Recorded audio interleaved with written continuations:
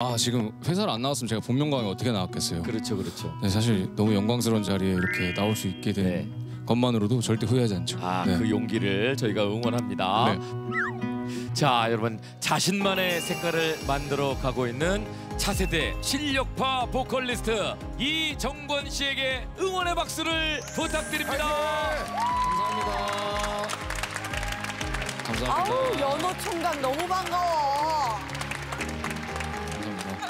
최고의 웨딩 시즌 5월을 맞아가지고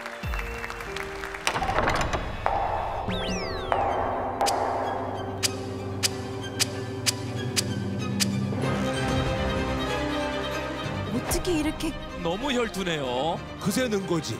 숨어 있는 진주 같은 빠져들었습니다. 최고의 정점을 달고 있는. 진짜 대결한 느낌. 훈이 오늘 가왕이 될 것입니다. 잘했습니다.